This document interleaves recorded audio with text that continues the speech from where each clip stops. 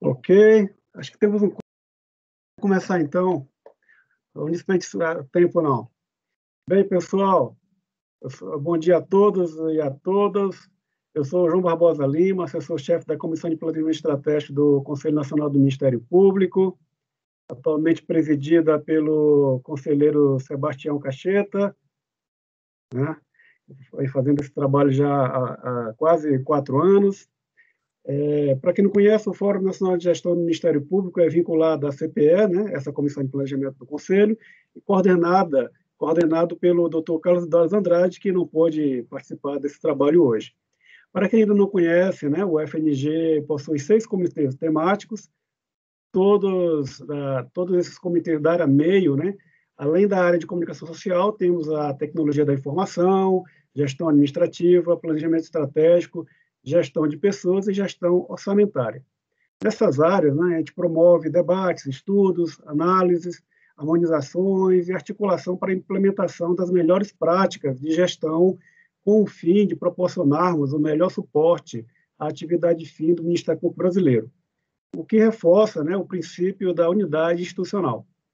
A capacitação de servidores é uma dessas formas de nivelarmos o conhecimento em temas considerados prioritários para a gente alcançar esses objetivos. Bem, é, em nome da toda a equipe do FNG, sejam muito bem-vindos a essa iniciativa de capacitação promovida pelo Comitê de Políticas de Comunicação Social, o CPCOM. É, desejando um bom trabalho a todas e todos, passo a palavra para a nossa coordenadora do CPCOM. É com você, Gisele. Obrigada, João. Bom dia, pessoal. Muito feliz de estar aqui. Esse ano a gente não conseguiu se encontrar muito, né? É, mas estamos começando aí nosso webinar, produção de conteúdo para redes sociais e mergulho nos formatos. É, eu e a Cris, né, eu do, de Minas Gerais e a Cris do Rio Grande do Sul, estamos conduzindo os trabalhos do CPCom esse ano, e, mas, na verdade, chegamos nesse tema não foi da nossa cabeça, né? A gente sabe que a gente tem conversado muito sobre isso no nosso grupo, no WhatsApp, né?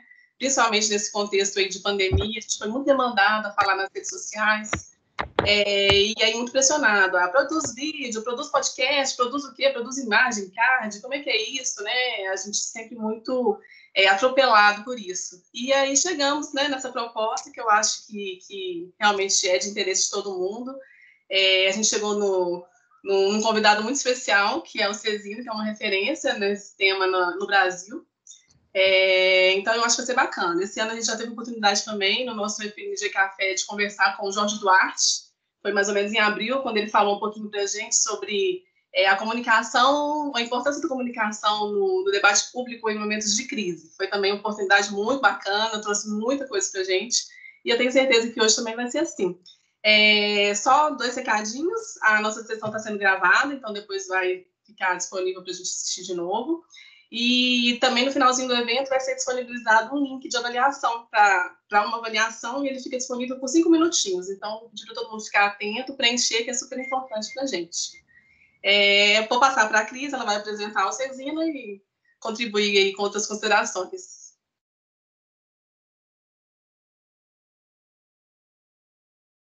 Ixi, Cris?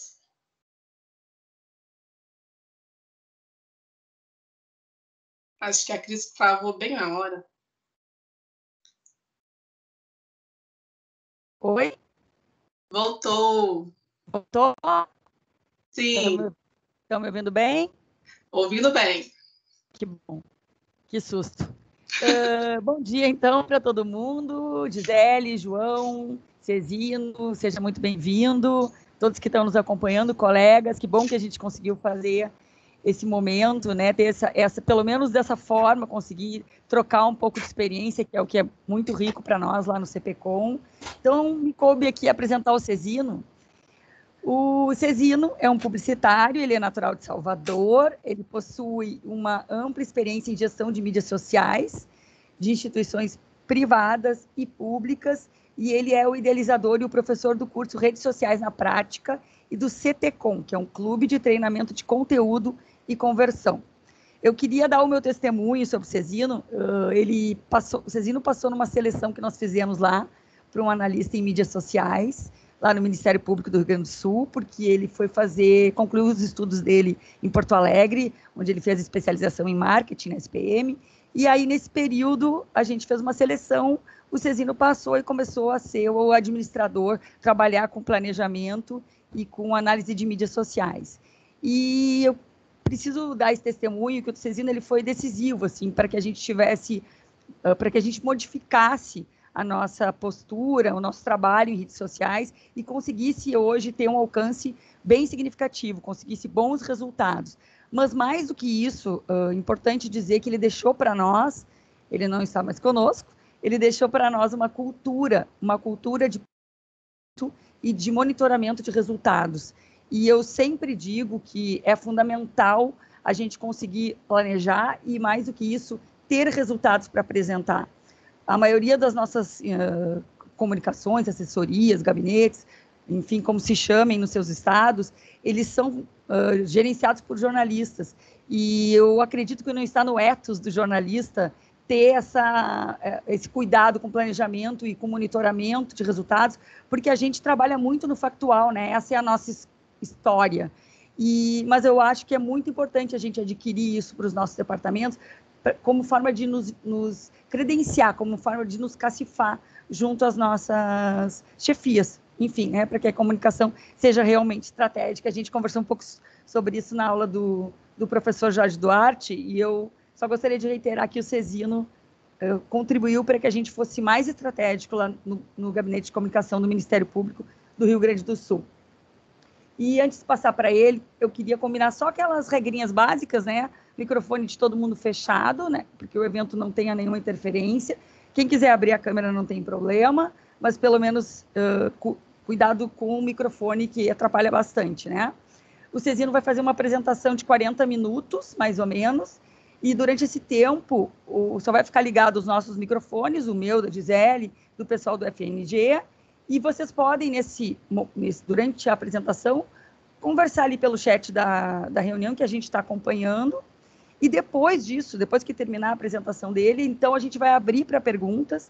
E eu só peço que as pessoas se, levantem aquela mãozinha que tem ali para se inscrever, que a gente e aí deixem os microfones fechados igual, e a gente vai chamando para o pessoal fazer as perguntas, e aí vamos tentar o máximo possível atender a todos. Quem quiser fazer por escrito, a gente também está acompanhando ali no chat para poder atender vocês. Quem não conseguir falar por alguma razão, né, não conseguir abrir a câmera e o microfone, a gente acompanha ali no chat, tá bem? Eu acho que é isso. Vamos começar, Cezino? Passo, passo para ti, então. Vamos começar. Bom dia, gente. Muito obrigado a todo mundo, a Cris, a Gisele, principalmente pelo convite, né, que foi da onde surgiu o convite direto.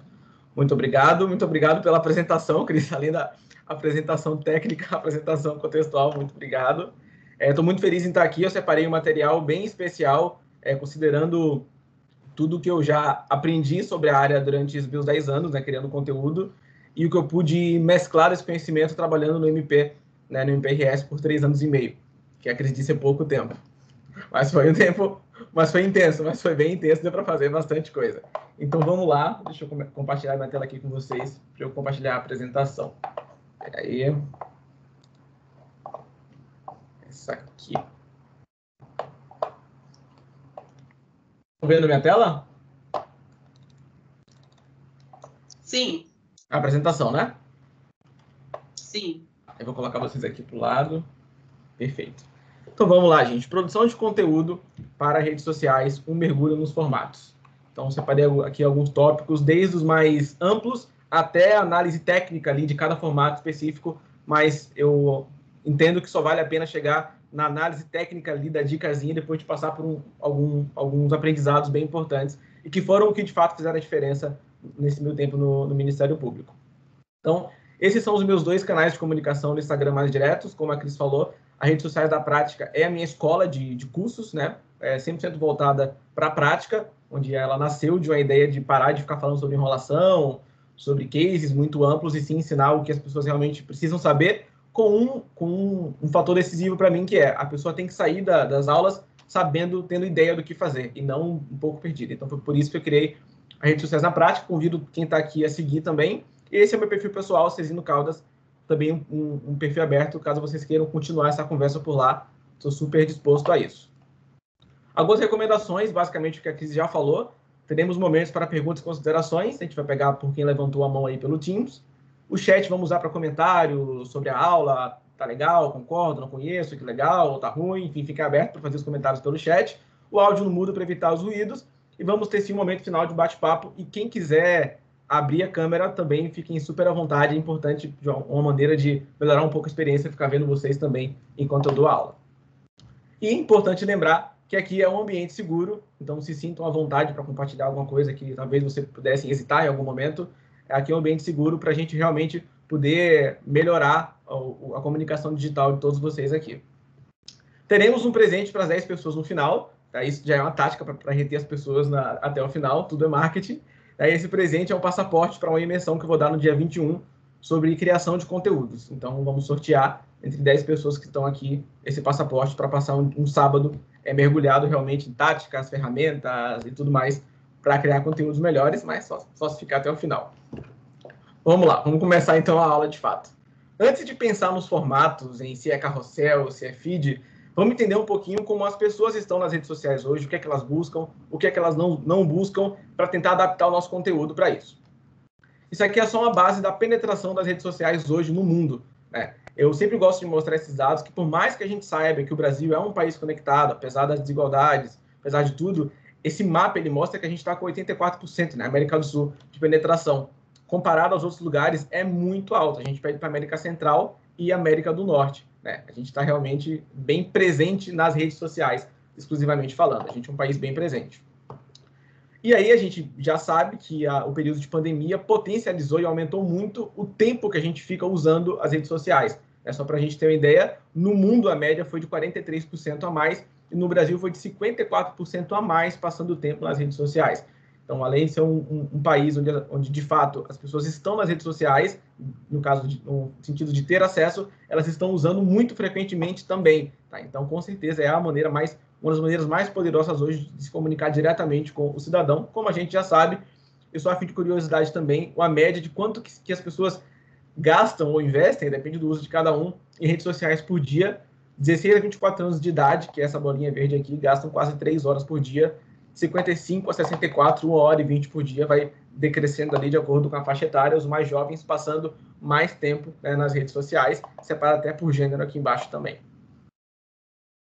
E aí, caso alguém tenha curiosidade de saber quanto tempo você está passando no seu Instagram, se você clicar nessas no menuzinho aqui, em sua atividade, vai mostrar o tempo que você costuma gastar por dia na média, tá? É bem, é bem interessante. Eu, por exemplo, coloco aqui um lembrete diário de uma hora por dia. Quando eu estou a mais de uma hora por dia no Instagram, ele me dá um aviso, olha, já passou uma hora no Instagram. Eu tento me regular um pouco para também sair um pouco, apesar de trabalhar com isso, né? Então, naturalmente, eu fico um pouco mais tempo no, no Instagram e nas redes sociais em geral. E por que, que as pessoas elas seguem marcas no Instagram? E aqui eu já vou colocar os MPs como marcas, né? As pessoas não veem o MP como seguir um parente, um amigo ou um primo. Entendem como seguir uma marca. É, majoritariamente para aprender sobre produtos ou serviços, para acompanhar novidades, para estar por dentro de promoções e descontos, que nesse caso não se encaixa muito, para ser entretido, né? Ele tem entretenimento, mas para ser entretido e para ser educado, né? Para de fato aprender mesmo né, com as marcas, com que as marcas podem falar. E por que, que as pessoas deixam de seguir as marcas? Sem qualidade no produto ou serviço, ruim atendimento ao público, quando o conteúdo é irrelevante a gente vai aprender hoje o que, que seria um conteúdo relevante, né? como depende de cada contexto, de cada pessoa, o que é relevante para um não é relevante para outro. Muita propaganda também, problemas de privacidade, cada vez mais, impressão negativa sobre a marca, que também são vários fatores que podem ser levados em consideração. É só para ter um parâmetro, muita gente pergunta, ah, Cezino, quanto que eu devo crescer por mês? Tudo depende, mas uma taxa média de crescimento de seguidores é de 1,39% por mês. Tá? E se for separar por tipos de conteúdo, né, tipos de formato que as pessoas postam, foto é majoritariamente o mais usado, depois vídeo, depois carrossel. Tá? É nessa, nessa, nessa ordem decrescente de formatos mais usados. E um dado que eu gosto sempre de trazer é que, em média, as pessoas olham 183 vezes por dia para a tela do smartphone. É, é assustador, e só tende a crescer, né? A gente fica cada vez mais dependente mas é para a gente ter noção da concorrência que a gente está se metendo. Então, a gente não disputa mais espaço com a instituição do lado. Hoje, a gente disputa espaço com a Tata Werneck, com o Jornal Nacional. A gente disputa pela atenção das pessoas o tempo inteiro. Né? Então, quanto mais a gente busca ser relevante, mais atenção das pessoas a gente tem Quanto mais a gente faz mais do mesmo, menos atenção a gente tem e a gente acaba por não ser notado. Então, algumas, alguns alinhamentos iniciais, antes de, antes de entrar no assunto de fato de comunicação mesmo, é que não existe fórmula mágica, tá? Geralmente as pessoas. Vocês me dá uma, aquela dicasinha aí para crescer o Instagram. É, seria até irresponsável da minha parte, sem conhecer a fundo a, a, empresa, a instituição por dentro, todos os seus diferenciais, como é o seu público, o que já foi testado, falar uma dicasinha que resolva. Não existe uma dicasinha que resolva. Não existe fórmula mágica quando a gente fala de comunicação. São mil formatos, mil possibilidades, mil estratégias, mil maneiras de contar o mesmo conteúdo e não vai ser uma fórmula mágica que vai, que vai resolver o problema de ninguém. E dicas de engajamento também não resolvem problemas estruturais. Às vezes tá um caos na empresa, tá um caos na instituição, e aí a pinga para a comunicação resolver, não vai resolver. Não tem uma dica secreta também que resolva um problema da instituição como um todo. Então, é, não é esse tipo de conteúdo que eu vou poder passar hoje, uma dicasinha que vai resolver todos os problemas da instituição. Não é sobre isso, mas eu tenho certeza que muita coisa que eu vou trazer aqui vai ajudar bastante no dia a dia. Então, a gente passou pelo Instagram, falando agora do Instagram especificamente, sobre algumas eras de conteúdo. Isso explica um pouquinho o momento que a gente está passando hoje também com o TikTok. Assim que lançou o Instagram, ele era uma rede social mais artística, umas fotos de ângulo diferente, uma coisa mais conceitual. Isso passou e começou a ter naquela época a era dos influenciadores. Foi quando começou a nascer a nascer os influenciadores digitais mesmo, né? Não os que foram da TV para as redes sociais. Alguns começaram a nascer lá. A gente tem to, todas essas eras ainda são presentes hoje, tá? Mas foi quando começou a ter o influenciador lá e eles começaram a ditar mais ou menos o que, que acontecia na plataforma. Logo depois disso, o Instagram começou a ser muito mais notado por todo mundo e aí começaram a contratar robôs, automações para seguir as pessoas automáticas, para responder e tal. E naturalmente perceberam que isso não dava certo, porque o Instagram, mais do que qualquer outra rede, ela é uma rede social sobre pessoas, sobre acompanhar o que, é que as pessoas estão fazendo. As pessoas saem do Facebook para ir para o Instagram, porque o Facebook tem muita propaganda, tem muita coisa, elas querem saber o que, é que as pessoas estão fazendo. Então, a era das automações durou pouco tempo para ir para a era mais importante de todas, que é a era da humanização. E muita gente fala sobre humanização de conteúdo como uma coisa muito subjetiva. Então, o é, que é humanizar conteúdo? Né? A gente vai falar também sobre maneiras de humanizar o conteúdo hoje, mas é muita coisa. É, é de fato trazer mais pessoas, é trazer opiniões, é colocar emoji, é rir no conteúdo, é deixar claro para todo mundo que por trás daquele conteúdo que ela está vendo há uma pessoa digitando por trás, há uma pessoa construindo por trás. Então, quanto mais a gente deixa isso, quanto mais a gente usa isso nos nossos conteúdos, mais humano a gente está sendo. E isso serve para a empresa, para a pessoa, para a instituição, para todo mundo. E por que que alguns conteúdos eles não chegam nas pessoas? Né? Então, isso é a primeira coisa que acontece, porque quando a gente está discutindo qual é o melhor formato, qual é o pior formato, ah, imagino que a intenção seja alcançar o maior número de pessoas possível, ainda mais se tratar do Ministério Público, um órgão que informar pessoas é uma métrica, o alcance é uma métrica muito relevante. Então, por que alguns conteúdos chegam nas pessoas e por que outros não chegam nas pessoas? É basicamente pelo tal do algoritmo, que cada vez mais tem sido discutido, cada vez mais tem sido desmitificado, o que, que é, o que, que não é o algoritmo, e Basicamente, o algoritmo ele faz uma continha para saber o conteúdo que vale a pena ser entregue para você, e aí para você especificamente no seu caso, e para mim, que é outro caso. Então, ele faz essas continhas. Então, o algoritmo faz as pessoas ficarem um pouco numa bolha, né? Ele vai direcionando aquele conteúdo que você já interagiu antes. E aí eu quero abrir para vocês um momento de, não de dinâmica, de exercício básico, que é, queria saber o que é que vocês acham do algoritmo das redes sociais. Então, eu vou pedir que vocês entrem nesse site aqui, que é o mente.com. Pode ser, recomendo que façam pelo celular mente.com, coloquem esse código 7139638. Eu quero que vocês votem ali para vocês qual que é, o que, que vocês acham do algoritmo das redes sociais. É, teoricamente vai aparecer ali em tempo real a votação de vocês.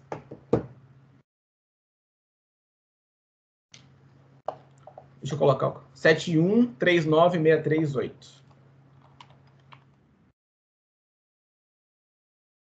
Judicial, necessário, bom. Temos quantas pessoas aqui? 67. Então, dá para bastante gente votar.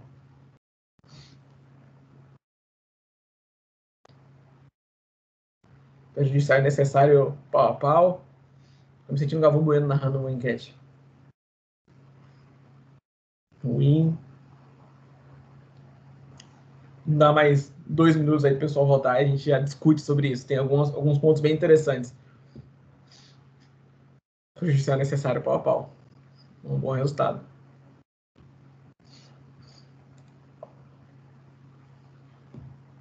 É isso? Então tá, necessário 14 votos, prejudicial 13 votos, ruim 3 votos. Está ganhando. Ótimo, nenhuma votação. Necessário ganhou? Então tá, necessário ganhou. Adorei a experiência de narrar uma enquete.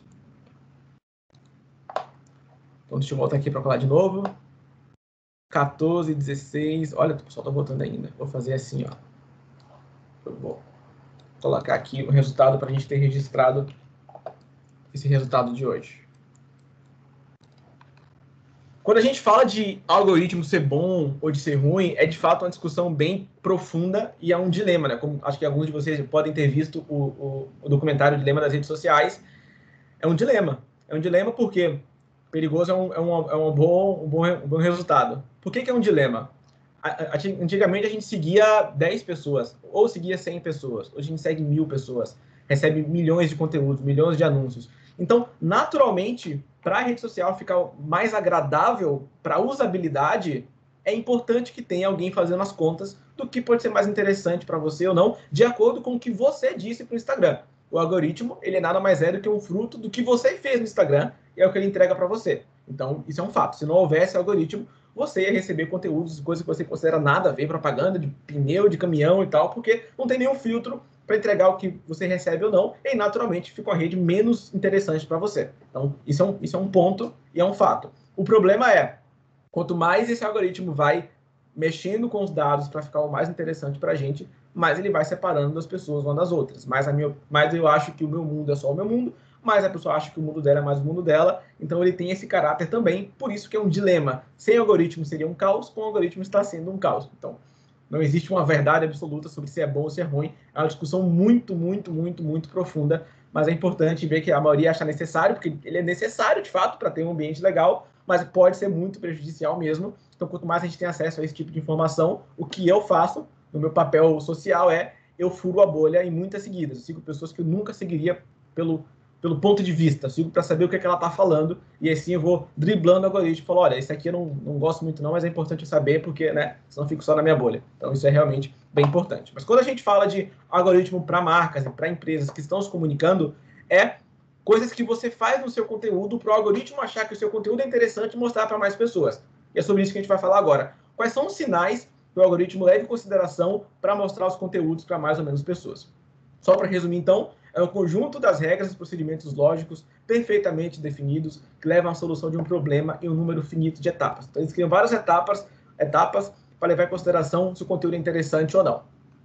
O problema que o algoritmo resolve é muita gente na plataforma e a única solução para ser visto é ser relevante. Né? É criar conteúdo que de fato conversa com o público. Uh, aquele documentário Dilema das Redes tem uma mulher que fala, né, muito, esqueci o nome dela e, e o cargo dela, mas ela disse que são é, algoritmos são opiniões transformadas em códigos. Eu acho muito interessante a provocação dela, porque é isso. Você engaja, interage com coisas que são que dizem respeito à sua opinião. Então, naturalmente, o algoritmo para você é a sua opinião transformada em código. Então, vamos entender na prática agora o que, que faz o algoritmo, leva, o que, que o algoritmo leva em consideração para entregar ou não um conteúdo para o outro. Primeiro, agora vamos para a parte prática mesmo engajamento. Se o público, você faz uma publicação, as pessoas começam a interagir, o algoritmo já entende como interessante e pode mostrar para mais pessoas, tá? Isso é um fato. Todos os conteúdos que bombam muito na largada provavelmente vão alcançar mais pessoas depois. Relevância. Quanto mais as pessoas interagem com o seu perfil, mais o seu conteúdo vai aparecer para elas. Tá? Então já é outro ponto também muito importante, são dois diferentes. Um é, assim que postou, o pessoal já engajou, ganha pontos. O outro é, se é um conteúdo que está sempre postando conteúdo legal, uma, uma, página que sempre posta conteúdo legal, as pessoas já vão ficar esperando o conteúdo, estão ali mais presentes e vão receber primeiro. Direct. Quanto mais a gente manda um perfil para alguém, quanto mais o seu perfil é indicado para alguém por conversa, também é entendido como mais interessante aquela publicação. Quanto mais as pessoas buscam pelo seu perfil, também ganha para ele fazer a continha do que, que entrega, do que, que não entrega tempo no post. Às vezes a gente tá, vê o conteúdo, lê aquele conteúdo inteiro, participa do carrossel, arrasta tudo, mas não curte. O tempo parado no conteúdo também é um sinal de relevância, tá? Então, não adianta não curtir aquele post para não dar aquela moral para a pessoa. Se você parou para ler tudo, ficou dando zoom na foto, o Instagram já vai saber que é um conteúdo interessante para você. A cronologia, né? antigamente, o único fator para o Instagram era a cronologia. Você entrava no Instagram, os conteúdos que estavam em primeiro, você via né, por ordem cronológica. Hoje não é mais assim, hoje ele é só mais um dos fatores. A usabilidade, isso é uma coisa bem importante também. quem usa muito o Instagram vai receber mais conteúdos do que quem usa pouco o Instagram. Então, se você entra sempre, está sempre atualizando ali e tal, naturalmente você vai ser uma pessoa que vai receber mais conteúdos diferentes. Se você usa menos, usa uma vez por dia, naquele momento que você entra, ele vai tentar ser o mais assertivo possível para entregar já o que, é que você gosta, né? Sabendo que você não é uma pessoa que entra muito. E outra coisa que conta muito também são as novas funcionalidades. Sempre quando o Instagram, o Facebook, alguma rede social posta uma novidade nova, ele quer que as pessoas usem. E como é que ele faz isso? Valoriza as pessoas que usam a novidade. Lançou o Reels, por exemplo. Quem usa o Reels tem mais alcance hoje para ele fazer o formato se popularizar. Então, é uma estratégia deles também. E vamos falar sobre cada formato depois, acho que eu não vou dar spoiler sobre isso agora. E mais, todos os dias, todos os dias, todos os dias, e mais, e mais, e mais, e mais, e mais. Só para a gente ter ideia, o que faz um site aparecer em primeiro no Google para mim ou para você, que são diferentes, são mais de 500 fatores que eles levam em consideração. É uma máquina que fica aprendendo todos os dias como entregar o melhor conteúdo para quem está pesquisando e para quem está navegando. Eu separei um vídeo aqui para vocês, é só um trecho para vocês verem visualmente, vou até tirar o áudio, como é que esse conteúdo, ele, como é que essa continha é feita, tá? Deixa eu mostrar aqui, a partir dos 2 e 10. Essa parte da pontuação, quem tem mais pontos vai para frente. Vou botar a partir daqui. Compartilhar, curtir, ver o vídeo, vai ganhando pontuação e entra ali na batalha dos conteúdos em cima dos que tem menos pontuação. Então, quanto mais pontuação a gente estimula que as pessoas façam, né, as pontuações são todas aquelas que eu falei agora. Tempo no post, curtida, tudo mais. Então, e é isso, essa continha para pessoa, né? É muito pessoal para cada um. Então, é o que eu, o que tanto que o que aparece no meu feed, o que aparece talvez se tivesse um irmão gêmeo, seria completamente diferente, porque cada um interage com coisas diferentes. Então, entendemos todos os sinais do algoritmo, entendemos o que é que vai para cima, o que é que vai para baixo, o que é que o Instagram entende como interessante ou não, para a gente ir para outra parte agora, que é uma parte muito importante, que se chama quebra de padrão. O que é quebra de padrão? Quando a gente entende que as pontuações contam muito para o algoritmo, quando a gente entende que, de fato, as pessoas olham 180 vezes para o celular. O Brasil é um lugar que as pessoas estão muito presentes, cada vez os jovens mais presentes. Se a gente for só mais um, a gente vai ser só mais um. Quanto mais a gente não questiona o que, que a gente está fazendo, a gente vai ser só mais um. Então, naturalmente, provavelmente esse slide chamou mais atenção do que todos os outros, porque ele quebrou um pouco do padrão que eu estava falando. Se já no Instagram de vocês. Eu vou falar Instagram porque eu sei que hoje é a rede principal para pro, os MPs, imagino eu. É, se você não quebrar o padrão em alguma coisa que você faz, naturalmente você vai ser só mais um. Né? Se você não testar formato, se você não pensar em coisa nova, se você fugir, não fugir um pouco da regra, você não vai quebrar padrão e, naturalmente, você vai ser só mais um entre aqueles milhões de conteúdos com menos pontuação e o conteúdo que vai chegar, naturalmente, para o menor número de pessoas do mundo. Então, é, é uma mudança de comportamento que a gente tem que ter de dentro para fora. O que, que acontece muito, tá? Em qualquer empresa, qualquer instituição. Apareceu um trabalho, uma campanha. Ah, é, vamos fazer daquele jeito, porque geralmente é assim que a gente faz aqui. É assim que geralmente se faz aqui, desse jeito. Ou ah, a gente não está muito acostumado a fazer isso, então vamos fazer o que a gente está fazendo sempre, né? Não estamos muito acostumados a testar coisa nova e tal. Esse tipo de coisa, ele tem para quem quer realmente ser relevante, alcançar mais pessoas, ele tem que sumir. É, o que podemos fazer que nunca fizemos? Isso é quebrar padrão. É você pensar numa maneira nova de, mandar, de, de pensar o mesmo conteúdo. É, isso é ótimo justamente porque a gente nunca fez. É completamente ao contrário de, ah, não, isso aí a gente nunca faz, é, a gente não faz isso aí. Ou não, é que geralmente a gente faz assim, então, isso não existe para quem quer ter crescimento consistente em redes sociais, é, são essas duas coisas. O que podemos fazer que a gente nunca fez, isso é ótimo justamente porque a gente nunca fez. Tá? Então, é, é outra percepção daqui do novo que está chegando. É sempre mudança, mudança e mudança. E a coisa muito importante de falar é que começar pelo formato é o atalho que pode levar para o caminho errado. Tá? Isso é muito importante. O formato ele não é a coisa mais importante de um conteúdo, a gente vai falar muito sobre isso. Por quê? Às vezes a gente faz um vídeo que bomba muito. E aí vira verdade. Vídeo bomba muito. Só que não. O que bomba muito é aquele conteúdo que vídeo se encaixou como o melhor formato. Se você usa como verdade absoluta um formato específico, então você pode postar um, um bom dia, uma instituição posta bom dia em vídeo, não vai alcançar ninguém, porque o conteúdo não é interessante. Então, não se começa uma estratégia de comunicação pelo formato, tá? Ele pode levar para o caminho errado. Então, por exemplo, se você faz um relatório de redes sociais e aí o relatório diz, vídeo foi o melhor formato tem que ver com muita calma, porque às vezes aquele vídeo daquela operação do maior time do seu estado que bombou, aí você vai levar em consideração agora que vídeo é o melhor formato. Não, naquele mês tem um super, um super furo que todo mundo se interessou. Então não é o melhor formato vídeo. Naquele momento o vídeo foi foi o formato que mais bombou por causa da notícia. Então, começar pelo formato é um atalho que pode levar para o caminho errado. Mas a gente vai falar depois sobre melhores formatos também. Mas só é, é uma coisa bem importante de falar, porque às vezes a gente começa querendo saber qual é o melhor atalho, como se fosse uma dica para quebrar assim, um atalho gigante, para não pensar em toda a estratégia de conteúdo e focar na pontinha lá, que realmente é a coisa não mais insignificante, mas menos importante na estratégia de comunicação. Então, como assim?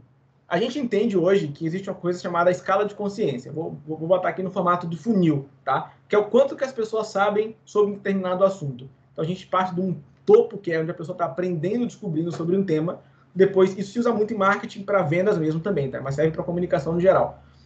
Reconhecimento do problema, depois a pessoa está um pouco mais consciente da solução e depois ela já toma a decisão. Trazendo isso para a prática, o que, que é? Eu só vou vender uh, uma marmita saudável para quem sabe que é importante se alimentar de maneira saudável. Eu já comunico com essa pessoa vendendo uma coisa que ela nem sabe que é importante, a comunicação não vai acontecer. Esse assunto não é relevante para ela. Quando a gente comunica uma notícia super técnica na instituição para alguém que nem sabe como funciona, nem sabe que um, um, um subprocurador-geral, um subprocurador faz, não é interessante para ela. Né? Quanto mais a gente entende que as pessoas têm uma escala de consciência diferente e que quem está aqui no topo é a grande, grande maioria, né? é a maioria da população, aí começa a mudar um pouquinho a lógica. Aqui começa a entrar mais os conteúdos que vêm da instituição para fora, e aqui começa a entrar os conteúdos que parte da comunicação desenvolver, entendendo que é importante conscientizar o público. Isso aqui é muito mais importante do que o formato assim, fácil. Vamos para alguns exemplos práticos. Só exige direito quem conhece o direito. Né? Isso é uma coisa bem importante. Quem aprendeu aqui que o trabalhador, que o consumidor tem direito a arrependimento, é a pessoa consciente da solução que ela vai precisar ter com o Ministério Público, talvez, em algum processo. Então, só, botei mais exemplos aqui, só acessa a matéria sobre subprocuradores quem sabe da importância. Tem uma população que nem sabe, e falando é bem bem francamente aqui, tem muita gente que não sabe como funciona o MP, não sabe o que o subprocurador faz, e a gente posta notícia. Subprocuradores é, discutem sobre taxação, nananã. Ninguém vai se importar com isso. Essa, a galera daqui não se importa, eles não sabem, não, não, não acessam esse tipo de conteúdo. Tudo bem, é político postar, não tem problema nenhum, mas quanto mais a gente investe tempo e trabalho conscientizando as pessoas, ensinando para elas, é muito importante.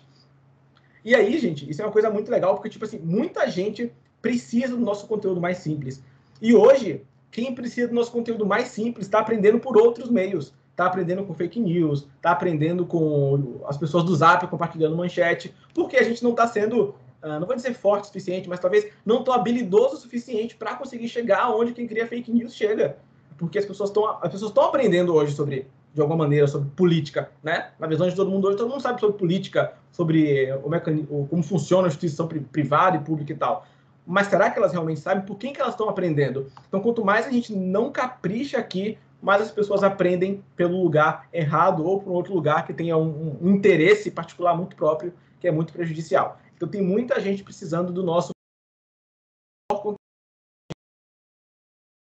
E agora falando de conteúdo especificamente, né? Então, entendendo isso, que as pessoas precisam do nosso pior conteúdo, que formato a gente vai avaliar depois, mas talvez não é tão importante assim, o que, é que faz o conteúdo ser interessante? Eu separei algumas coisas aqui como contexto, como a linguagem adequada ao público, entra nisso aqui diretamente nesse funil, linguagem adequada ao público.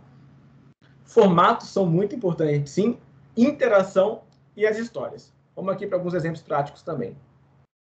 Quando a gente fala sobre ser relevante para o público, sobre o formato, contar histórias, a gente fala um pouquinho sobre o ângulo da informação. Como é que a gente pode pegar o mesmo conteúdo e contar por ângulos diferentes? Por exemplo, um fique atento às novas leis, a gente pode mudar por cinco leis que podem te ajudar na situação específica.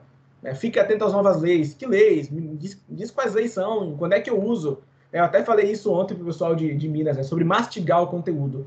O papel de mastigar o conteúdo para entregar para a população o conteúdo mais mastigado e pronto possível, ele é nosso. Né? Não é de alguém, tipo, não é, ó, ah, é só acessar para ver. Não, não é só acessar para ver, é só a gente caprichar mais no conteúdo para essa pessoa receber o melhor conteúdo possível. Então é mudar um pouco o ângulo da informação. Coloquei mais exemplos aqui. Em vez de dia da Constituição, mitos e verdades sobre a Constituição, o que já mudou, vamos fazer um quiz para testar seu conhecimento sobre a Constituição. É por outro ângulo, é quando você chama a, a, população, que no caso é o, o internauta, né, quem está consumindo nosso conteúdo, mais para perto, para de fato informar e para de fato entreter. Então, aí a pessoa fala, ah, mas é que dá muito trabalho. Sim, dá muito trabalho. Não existe um caminho para ser consistente sem ter muito trabalho. Tá? Isso é um fato pensar sempre nos melhores conteúdos, pensar em como mudar e ter muito trabalho. Isso é uma, é uma verdade assim que quem está querendo construir conteúdos melhores tem que estar tá bem estabelecido entre todos que é, sim, dá muito trabalho. E os formatos, na verdade, eles potencializam um bom conteúdo. Então, quantas vezes no MPRS a gente fazia um, uma operação, fazia vídeo com bastidores e tal, e não chegava para muitas pessoas. E às vezes uma operação a gente postava só um card e chegava para muitas pessoas. Porque o formato ele potencializa um bom conteúdo, tá? Então é basicamente isso que tem que deixar bem registrado. Os formatos são muito importantes, mas formatos não resolvem um conteúdo ruim. Não é pelo formato que se começa a planejar um conteúdo. Então vamos agora ver é, quais são os formatos hoje, de fato, um por um. Eu fiz uma lista aqui deles.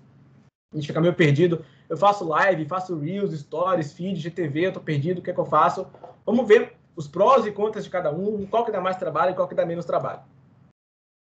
A gente tem hoje no Instagram um, meio com uma jornada de público por recurso. Eu botei aqui cliente, tá? Mas vamos imaginar para gente que seja cliente para gente é um, é um alguém que segue a marca, que está super por dentro, que acompanha muito o MP entende a instituição. Para eu, eu pegar um público de fora e transformar seguidor em seguidor, os, os recursos mais importantes são o feed, hashtag, os anúncios influenciadores. Publicação no feed, a pessoa pelo aviãozinho pode compartilhar no próprio Stories, pode mandar para outras pessoas, isso atrai para mais pessoas. Hashtag, quando você coloca, você consegue pegar pessoas também de fora para atrair para o seu Instagram. Anúncios é quando você paga para aparecer mais, então naturalmente as pessoas te encontram. E influenciadores, que é pegar alguém, um cantor, um influencer, é alguém que tem um, um, uma audiência grande, né? E fazer uma parceria, pedir para compartilhar a tua notícia, e aí você consegue atrair mais seguidores. Pegar o público que não tem contato com a marca e trazer para dentro. E pegar, tá, a pessoa me seguiu, como é que eu transformo essa pessoa agora em segui de seguidor para engajador? Feed também funciona, feed é formato mais versátil. Stories tem um papel é, importantíssimo, né? O Stories ele não traz novos seguidores, o Stories retém aquelas pessoas porque a gente mostra para ela um conteúdo que só quem segue a gente tem acesso. Né? Os bastidores, o que acontece por trás, o que está acontecendo hoje. O IGTV funciona muito para reter mais a pessoa também, com conteúdo mais aprofundado. E os directs, que é conversar com as pessoas também, é muito importante cada vez mais. De engajador para cliente, isso aqui é quando eu quero levar a pessoa para o nosso site, quando eu quero levar a pessoa para ler a matéria completa. Então a gente pode usar para cima, para quem tem arrasto para cima, a loja, como no caso de empresas, o link na bio para acessar a matéria, para ver o vídeo. Os directs também são muito importantes para esse tipo de finalidade. Os anúncios também funcionam muito bem e os influenciadores também podem funcionar muito bem para campanhas específicas. Então, uma notícia super interessante, quando o influenciador compartilha ela, naturalmente, essa pessoa ela vai já ter contato com o nosso conteúdo mais de fundo de funil, que é o conteúdo mais técnico. E aqui eu separei, um, fiz um esqueminha aqui para a gente entender mais ou menos é, como, é, como é amplo quando a gente fala de formato. Né? Faz um vídeo, mas que vídeo? Faz, faz um card, mas que card? É muito, é muito subjetivo. Então, eu separei aqui, aqui uns principais que eu vejo. Então, imagem estática. Faz um card. Pode ser uma foto tirada com celular ou câmera, né? Isso entra como imagem estática. Ou pode ser uma foto tirada com celular ou câmera, mais um trabalho de layout para dar um pouquinho mais de passar, mostrar que tem identidade da instituição dentro do trabalho. E o layout, quando você cria um layout do zero. Tá? Quando a gente fala publica um card, já é bem subjetivo. Sem contar que isso aqui também esses cards que eu peguei do MPRS são os cards bem bonitos. Pode ser um card muito feio, pode ser um card muito bonito, pode ser um card médio. E tô, é, já é um espectro bem grande quando a gente fala de card. Tá? Isso aqui, é importante deixar isso bem claro, porque quando fala card, tá, e aí? Que tipo de conteúdo você quer? Outro ponto importante. Aí, a imagem estática, que é o card, ele cabe no feed, ele cabe nos stories. São os dois formatos do Instagram que permitem imagem né, hoje. Vídeos. A gente pode fazer um vídeo cru, que é só o promotor falando, ponto. Pode ser um vídeo com tratamento, que aí pode ser edição de corte, pode colocar a imagem por cima, pode ser locução, pode ter trilha sonora. Aqui um que a gente fez, por exemplo, colocando o título aqui em cima e a legenda aqui embaixo, diferente de um vídeo cru.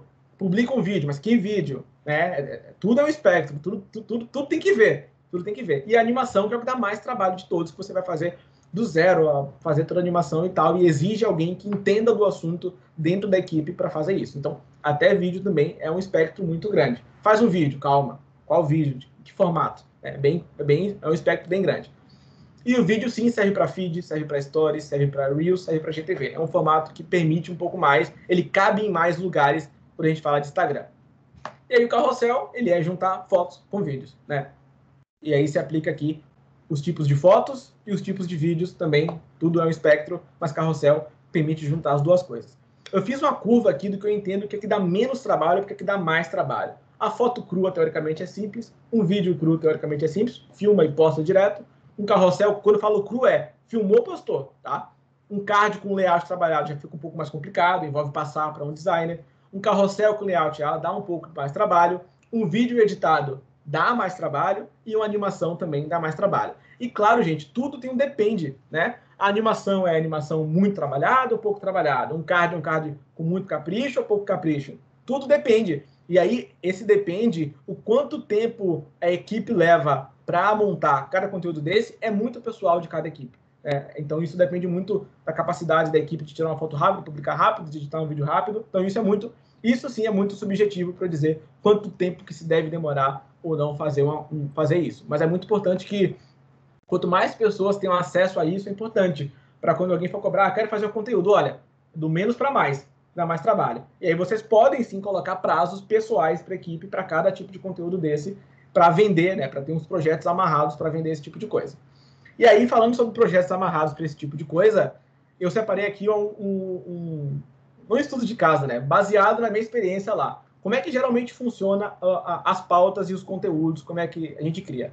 Tem os conteúdos planejados, que se não tem, é para ter, e os conteúdos por demanda. Conteúdo planejado são aqueles que eu fazia com planejamento de conteúdo mensal, dicas de direitos, dicas de consumidor e tal, que só dependem, não só dependem da gente, mas a gente é completamente proativo nesse sentido, para garantir frequência, para garantir consistência e estar tá sempre presente. Esses conteúdos planejados, eles são mais da comunicação e tendem a falar mais com aquele topo de funil, ou seja, completamente importantes. O por demanda é o que vem. Comunicados, novidades, eventos, saiu um negócio aí, tem que postar a matéria aí e tal. Isso é por demanda, a gente não tem tanto controle sobre isso, a gente é mais reativo nesse sentido. Acontece que nos planejados a gente tem mais tempo para inovar, porque é, é a ideia nossa, mas tem menos importância interna. Né? As pessoas não veem tanta importância em fazer um cardzinho com cinco dicas e tal. Cada vez estão vendo mais, mas nem se compara para internamente, né, para administração superior, por exemplo, um post da, da notícia, de uma matéria, tal, uma coisa assim. Para eles é muito mais importante. A gente tem menos tempo para inovar, mas tem mais importância interna. Então são dois pontos aqui diferentes. E aqui vem o pulo do gato, que é por demanda mais planejado. É quando a gente cria roupas, quando a gente cria processos internos para receber muito bem o conteúdo que vem de surpresa, tá? Então, e aí, por exemplo, no MPRS, a gente criou um fluxo quando tem uma operação grande. Quando tem uma operação grande, a gente faz um vídeo do bastidores. Quando a gente recebe a operação antes, né, a notícia, a gente faz um vídeo explicando como é que foi o funcionamento, quando, quando a gente percebe que é grande. É, quanto, quanto mais processos e fluxos você cria nesse sentido, principalmente quando a equipe é grande, melhor. Então, a, a, a grande diferença aqui tá, é ter conteúdo planejado, vai acontecer conteúdo que vem por demanda surpresa, mas você consegue planejar, criar previsões para os tipos de conteúdo que vem por demanda. Porque por mais que sejam surpresa, eles não mudam muito. Uma operação grande, tá? Uma operação grande merece esse kit completo. Vídeo tal, vídeo tal, vídeo tal. Uma operação pequena. Então vamos, vamos fazer essa opção aqui que é um pouco mais, mais, mais resumida. E quanto mais a equipe está alinhada com isso, mais o trabalho flui de maneira muito mais rápida, de maneira muito melhor. E quanto mais a instituição a, a administração, ou quem, ou quem vocês precisam prestar contas, tem ideia disso tudo, fica muito mais fácil o trabalho acontecer de maneira mais fluida e dá menos margem para surpresas. E aí, qual é a exceção? Quando o PGJ manda. Né? Ninguém aqui no PGJ fala, tem que fazer isso hoje. Então, tem que fazer isso hoje. A única diferença é que quanto mais a administração superior entende o trabalho, menor chance de surpresa. Isso é uma coisa que a gente via muito. Olha, esse vídeo ele demora quatro dias para ficar pronto. Para a gente fazer esse vídeo, seria muito importante para essa operação, é importante saber com antecedência. Ah, não dá para falar com antecedência. Não tem problema, não temos mão para fazer esse tipo de conteúdo. E por mais que às vezes seja complicado, às vezes aconteça uma coisa muito. É que foge à exceção, e aí realmente não tem muito o que fazer, tem que talvez virar à noite, não sei como é que funciona, mas quanto mais a gente prevê os processos, quanto mais a gente cria fluxos para isso, mais fácil e mais fluido e melhor fica o trabalho em termos de quantidade de conteúdo que você pode criar, em termos de qualidade também. E aí, tá, Cecília, mas eu quero saber assim, é, qual o melhor formato, tá? Qual o melhor formato? Esse aqui é um print do Instagram que eu tirei. Tem Reels, tem GTV, tem card e tem carrossel. Ou seja, tem praticamente todos os formatos e vídeo normal. Todos os formatos no mesmo feed. Esse feed é do próprio Instagram. É só para mostrar para vocês que como é importante vocês testarem sempre o melhor formato. Se houvesse um melhor formato, o Instagram usaria só esse, né? Até porque é o Instagram. Então, esse aqui eu tirei ontem antes de ontem. o próprio Instagram testando todos os formatos possíveis para o conteúdo. Primeiro se pensa no conteúdo, depois se pensa no melhor formato. A Maria Assunção colocou que surpresas são, são os que mais acontecem. Ah, concordo, mas acho que dá para a gente listar quais tipos de surpresas que podem acontecer e criar fluxo para cada uma delas. É uma coisa que pode, que pode funcionar. A apresentação travou para vocês? Para alguém? O que a Cris botou ali? Acho que foi para a Cris. A Cris também sumiu a imagem dela, talvez tenha caído a internet dela. Então, não é sobre qual o melhor formato, é sobre qual a melhor maneira de passar esse conteúdo. A lógica é outra. Então, só vou, para finalizar agora, chegando na parte final da apresentação, eu vou listar sobre cada formato para a gente conversar um pouquinho sobre eles. Card, né, o famoso cardzinho que se pedem. Basicamente, é sua mensagem em uma imagem. Aqui funciona muito fotos impactantes, frases marcantes, reflexões, relacionamentos, estímulo para interagir né, e a interação de fato. Então, você pode pegar uma frase é, que funciona muito bem, mais marcante, conteúdos mais inspiracionais em vídeos que também funcionam muito bem, né? Completamente humanizado, esqueminhas para o pessoal salvar, super funciona em card também, conteúdos que estimulem a interação. Se eu pudesse indicar o design para o seu projeto, indicaria, bote aqui nos comentários. Isso super funciona bem, isso dá bastante engajamento. Quando você faz isso de acordo com assuntos que você costuma falar, é ótimo também e é uma maneira também de reter mais as pessoas dentro. Lembrando que tudo isso é importante para ganhar pontos no algoritmo para aparecer mais para pessoas. Sobre os vídeos. Aqui eu separei os vídeos de até um minuto, né, que são os vídeos que entram aqui direto sem precisar ir para o IGTV. É, essa miniatura dos vídeos ela é muito, muito, muito importante. Então, quando, toda vez que for subir algum vídeo, faz uma miniatura antes e escolhe ela para ser a miniatura que vai ficar no feed. Por quê? Porque quando a pessoa for compartilhar no Instagram pessoal dela, a miniatura aparece. Então, para quem está recebendo o seu conteúdo, é, ah, MPRS postou um negócio, eu quero compartilhar no, no meu Stories. Só que quando eu compartilho no Stories, não pensaram na imagem bonitinha para essa miniatura do vídeo. Aí fica uma coisa, um promotor falando tremido, uma coisa assim. Então, naturalmente, quem está recebendo aquele conteúdo é, não vai receber de uma maneira tão uh, trabalhada quanto você pensa antes na hora de fazer a sua miniatura. Então, aqui eu coloquei uh, alguns recursos que se devem usar quando a gente fala de vídeo no Facebook e no Instagram, diferente do YouTube. Porque no YouTube, quando você assiste um vídeo, você clica naquele vídeo e vai assistir o vídeo. No Facebook e no Instagram, você é interrompido por um vídeo. Então você tem que ter mais recursos para captar a atenção da pessoa. Então, títulos em cima e legenda embaixo são muito, muito importantes. Isso aqui é a diferença, por exemplo, de um vídeo que não tem nada, de um vídeo que tem todo o apoio visual. Naturalmente, o vídeo que tem mais apoio visual, ele chama mais atenção e pode reter mais as pessoas. Agora, sobre carrossel, é uma sequência de imagem para a gente se aprofundar no, no, conteúdo. É um formato bem interessante, que de fato permite muito mais, tá? Então, e, caprichar na primeira imagem, ele é, é fundamental para reter a pessoa por mais tempo. Então, separei aqui alguns exemplos bem interessantes né, de modelos de carrossel, quatro dicas, quatro coisas. Hoje não vai dar para falar muito sobre como criar conteúdos legais, né, que é como contar histórias, porque é mais sobre formatos, mas esse tipo de conteúdo, quatro coisas, sete verdades, mitos e verdades, que funcionam muito bem e funcionam muito bem em carrossel também. Aqui mais alguns exemplos que são bem práticos e aí tende a ser um conteúdo mais aprofundado, onde você realmente mastiga todo o conteúdo para a pessoa. Coisas que as pessoas faziam em e-book antes, hoje está em carrossel, você vê bastante conteúdo mesmo né, para a pessoa salvar. E uma coisa positiva do carrossel é que você pode, né, uma imagem junta com a outra, então eu uso muito esse recurso Tá sempre uma setinha invadindo aqui a outra e tal, dá um, uma sensação de continuidade que é bem legal. E por que o carrossel é bom? Porque as pessoas ficam mais tempo no seu conteúdo, é legal para o algoritmo, as pessoas ficam tocando no seu conteúdo, que é legal para o algoritmo. Então, o carrossel, de fato, é um formato que permite muito mais, mas quando o conteúdo é bom. Um carrossel de conteúdo ruim, as pessoas só não vão chegar até o fim e vão sair. Então, não é pelo carrossel. É, ah, tem um conteúdo um pouco mais aprofundado. Como ele pode ser? Ah, o carrossel se encaixa nesse sentido. Então, é essa a lógica de pensamento separei alguns dados bem legais sobre carrossel aqui para gente. Usar mais slides, aqui está lá, mais slides no carrossel aumenta o engajamento. Segundo a pesquisa aqui, quando a gente usa 10%, 10 slides, que é o máximo, pode aumentar engajamento até 2%. Carrossel com vídeos recebe mais comentários, tá? Então, se esse aqui recebe 7 com imagem, misturado quase 16, com vídeo recebe 26. Então, isso aqui é uma, uma dica bem legal, assim, mas claro, tem que ser um vídeo interessante. Sempre partindo desse ponto, carrossel com 10 vídeos chatos não vai gerar comentário nenhum, tá? Só para deixar bem claro.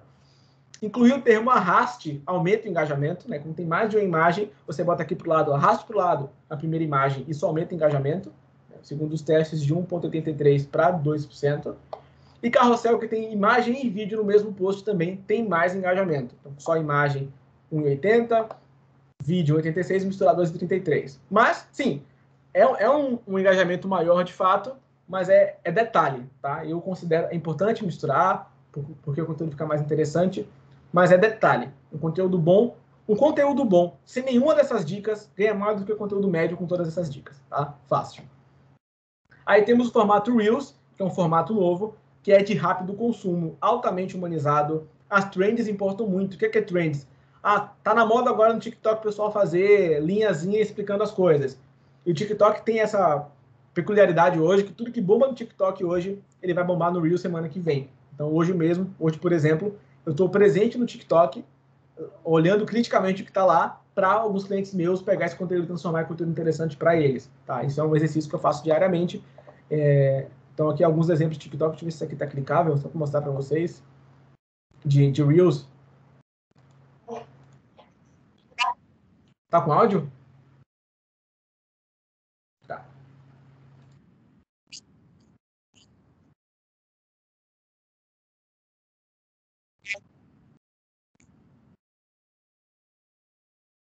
Conteúdo simples, bem mastigadinho, bem direto ao ponto. É esse tipo de conteúdo do Reels que funciona hoje e dá super para as instituições construírem conteúdo nesse sentido aqui. Dá muito. Né? Nesse caso aqui é, um, é um, uma tela, pode ser o promotor mesmo falando, apontando para o lado, dando cinco dicas sobre alguma coisa.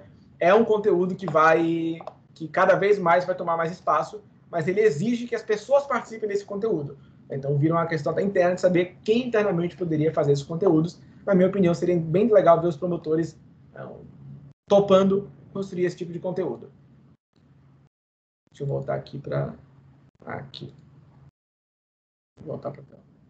O Reels é o único formato que eu posso afirmar que tem mais alcance, tá? O Reels tem mais alcance porque ele é uma novidade. O Instagram quer que ele alcance mais pessoas, então naturalmente ele dá preferência para conteúdo feito em Reels, é o conteúdo que alcança mais pessoas.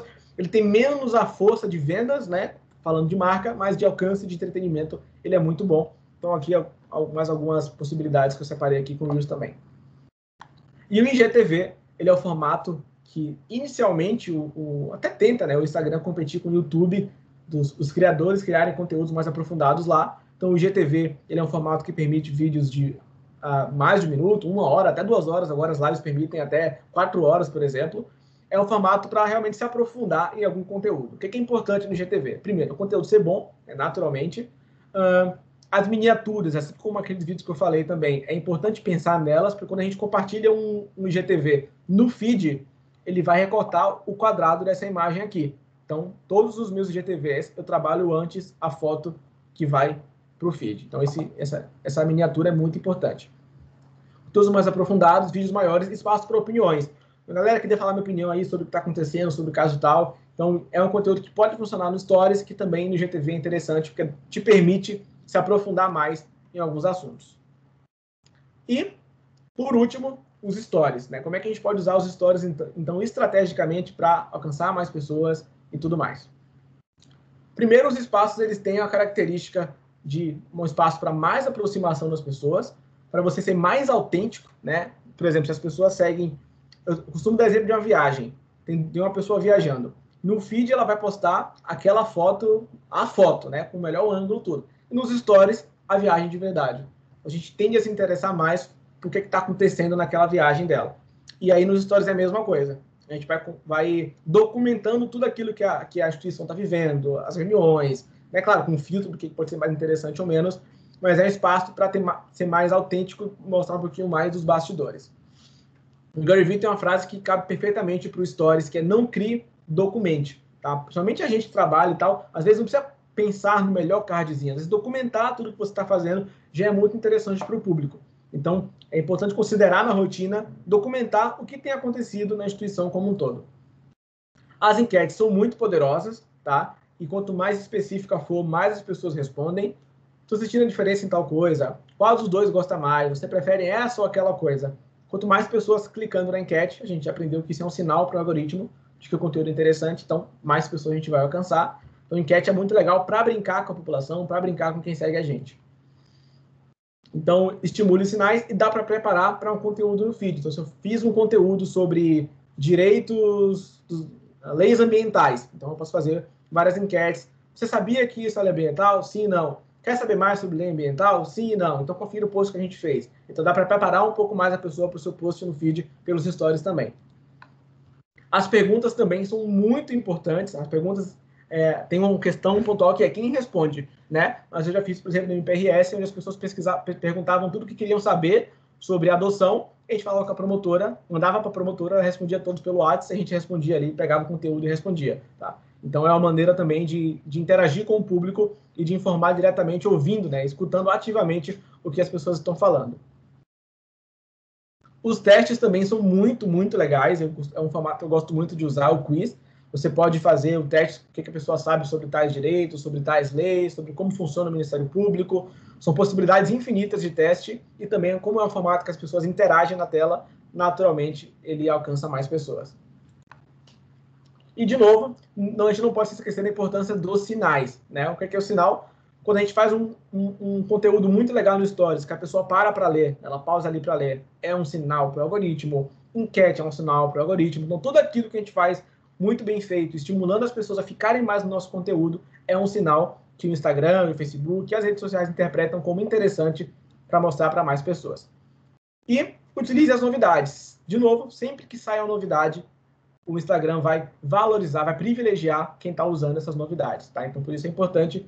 Agora lançou o, o sei lá, o peça do restaurante, é um sticker novo que lançou. Acho que para MP não cabe muito, mas para outras pessoas, para outras marcas, ah, vamos ver algum jeito de usar isso. Esse sim, a única, não desculpa, né? A única motivo que pode fazer você focar mais no formato às vezes do que no conteúdo é quando é uma grande novidade que de fato ele vai privilegiar quem está usando. Então é, é, acho que é a única exceção. E para finalizar, o melhor formato é testar muito, testar todo dia, testar os formatos, testar o ângulo da informação. O melhor formato é ter bons conteúdos, é o formato mais importante que tem. Né? Então qual, o que é interessante, por qual ângulo contar a informação. E o melhor formato é a consistência, é criar conteúdos com frequência.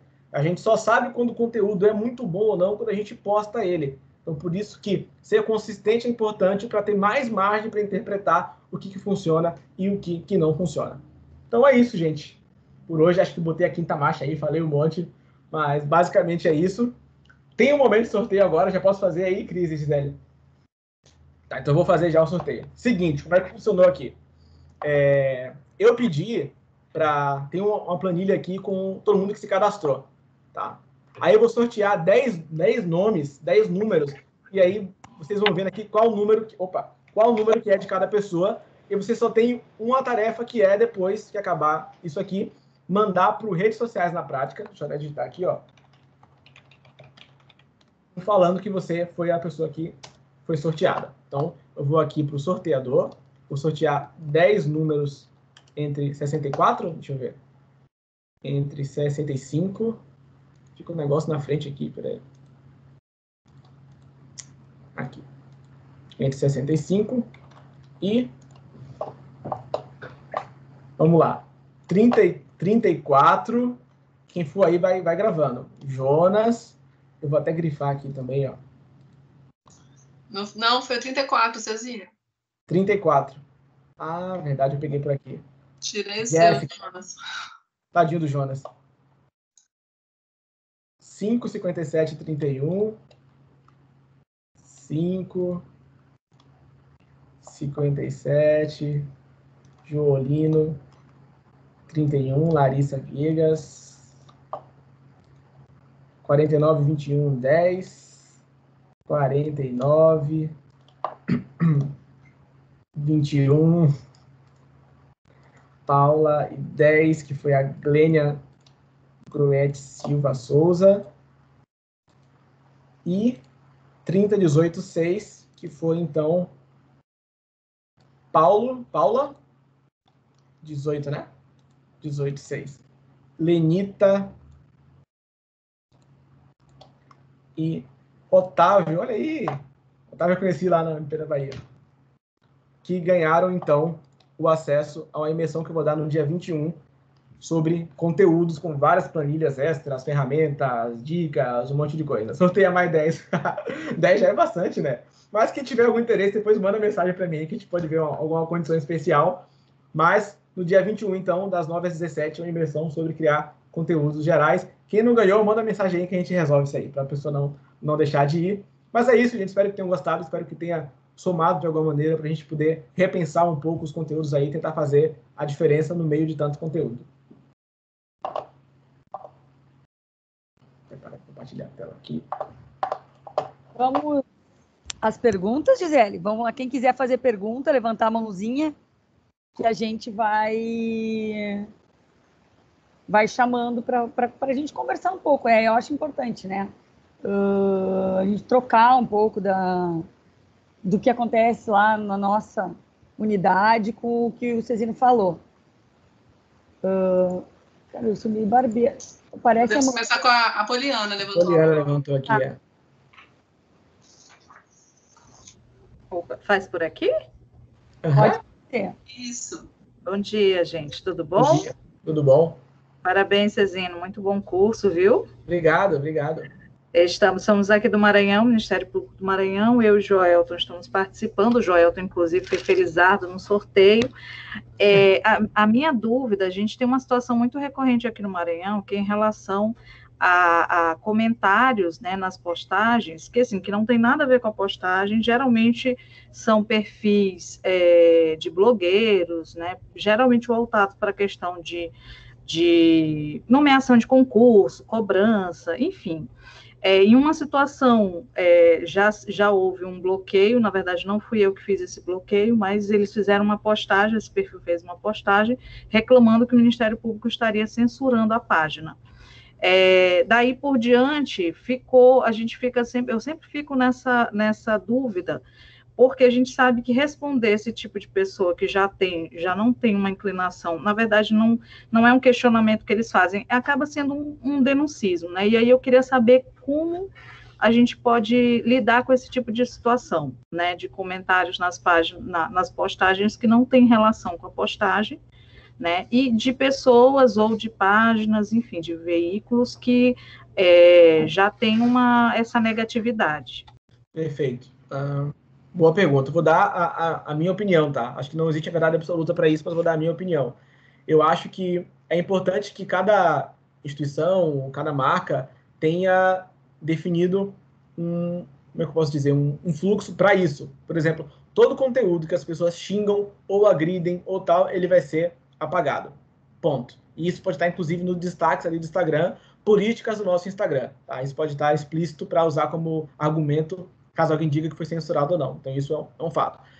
Eu, particularmente, as pessoas que se manifestam dentro da. Não dizer respeitosamente, né? Mas dentro do, do, do, que se pode se manifestar, mesmo que não tenha a ver, eu não tenho problema. Eu não realmente não, não, não me importo. Quando é alguma coisa que o Ministério Público pode falar algo sobre aquele assunto, responde.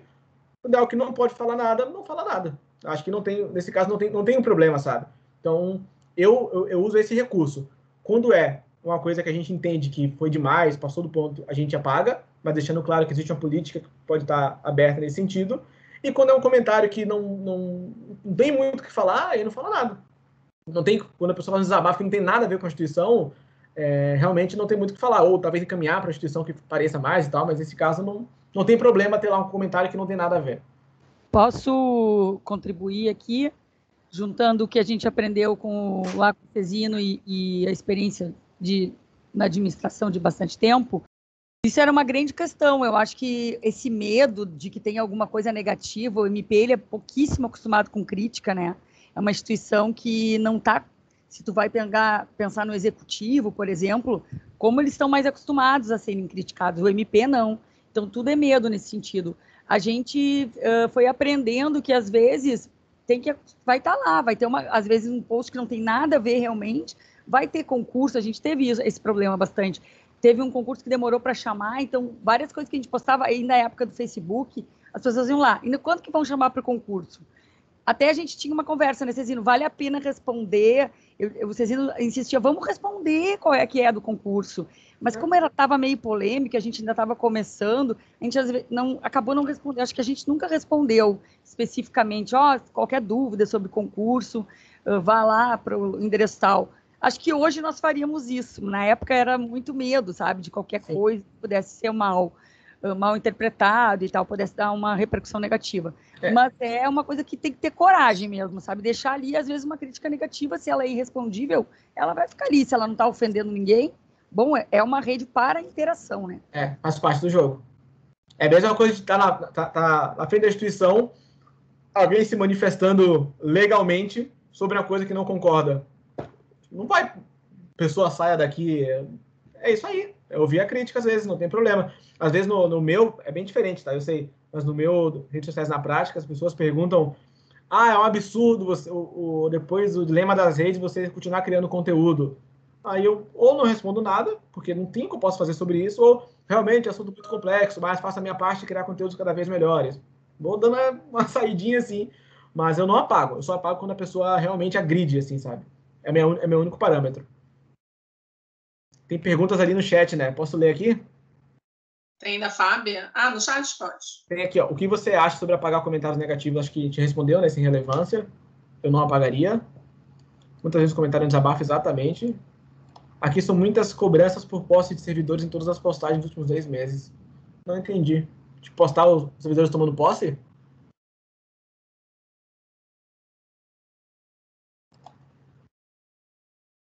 Não sei se eu entendi direito é, Daniela, que são muitas cobranças por postes de servidores em todas as postagens. Entendeu, Cris? Depois você pode explicar um pouquinho, Daniela, pra gente? Pergunta? Eu, é, eu não entendi, eu não entendi também. Depois a Daniela explica, vamos seguindo, então tem alguém com mão levantada, né?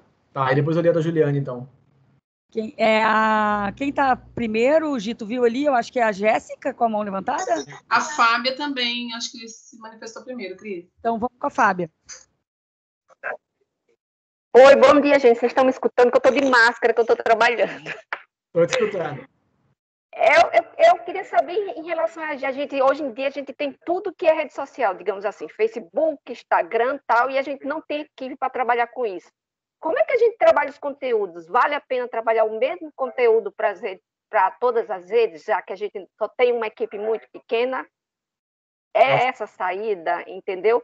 E eu, assim, essa questão só de crise de imagem, nós tivemos uma crise de imagem de um MP que acabou batendo em todos os MPs, pelo menos até nas nossas redes sociais chegaram críticas. Como é que a gente trabalha isso? Geralmente a gente não responde, a gente deixa a crítica, o que a gente não tem resposta, a gente deixa rolar a crítica. Geralmente é isso que a gente faz aqui. Tá. Seria essas perguntas. Perfeito. Acho que a primeira eu vou responder, a segunda eu começo sobre crise, acho que a crise vai conseguir responder melhor sobre o gerenciamento de tá. crise nesse sentido. Mas a primeira sobre se foca em uma e foca em todas, assim, é, é muito importante estar presente nas redes sociais, nas redes sociais. É muito importante que o cidadão encontre a gente na rede social que ele esteja, porque ele encontra todas as marcas, né? As marcas são super presentes hoje, porque não vai encontrar o MP, que às vezes consegue dar conta, às vezes não consegue. Então, hoje, há algumas maneiras de você começar a escalar o seu conteúdo. Uma das maneiras, existem várias, vou dar uma aqui que é bem prática. Por exemplo, pegar um conteúdo muito rico. O que, que é isso? Um vídeo para o YouTube completo, uma palestra de um promotor, esse tipo de conteúdo. Pega um conteúdo muito rico, quebra ele em vários conteúdos, vai postando trechos no Instagram, trechos no Facebook, quebra esse conteúdo em card, cria cards com compilados do que ele ensinou. Isso, isso é uma maneira de você pegar um grande conteúdo e usar ele em, em mais conteúdos. Conteúdos que você faz para o Instagram podem ser compartilhados no Facebook tranquilamente, Conteúdos no Twitter, geralmente é conteúdo de notícia, e aí no Twitter especificamente, o que é mais importante de fato é a notícia, não o formato. Né? Quando a notícia é boa, vai bombar, quando a notícia é ruim, não vai bombar, não tem muito mistério. Então o Twitter é, é mais uma coisa do, do, da notícia que a gente tem para dar mesmo. Então, sobraria, né, entre aspas, aí o YouTube para criar um conteúdo mais consistente, que pode ser toda terça-feira o promotor responde. Vocês podem criar pelo menos um programa semanal para estar tá consistente em alguma rede. Então, de uma maneira assim, você consegue mais ou menos estar tá no YouTube, no Facebook, no Instagram e no Twitter, que acho, imagino eu que sejam as principais hoje, assim. Um, Fábia, eu acho assim, ó, complementando essa parte do conteúdo, a gente, como a gente não tem perna realmente para trabalhar bem todas as redes, né, Cezino? eu acho que a gente vai realmente escolher naquele momento aquilo que está dando mais retorno e botar, investir ali. A gente, por exemplo, o nosso Twitter, o Twitter é onde a gente tem bastante seguidores lá no MP do Rio Grande do Sul, aqui, né? Mas a gente não usa mal, porque a gente só reposta as, as, as notícias que a gente posta no site. Porque não tem perna mesmo, né? Daí a gente usou já o Twitter para algumas coberturas específicas no minuto a minuto, que deu super certo. Mas não tem perna. Então, assim, hoje a rede do momento é o Instagram, é para o Instagram que a gente faz conteúdo. Não, não tem como a gente trabalhar bem todas as redes com a, com a equipe que a gente tem, né? Não, nunca, acho que nunca teremos dessa forma tão profissional como uma empresa que tem uma marca, que vende produtos, talvez consiga é. fazer. E a crise, Gito, quer falar sobre a crise? Eu, eu acho que a Fábia está falando da, da crise lá da, da Santa Catarina, certo?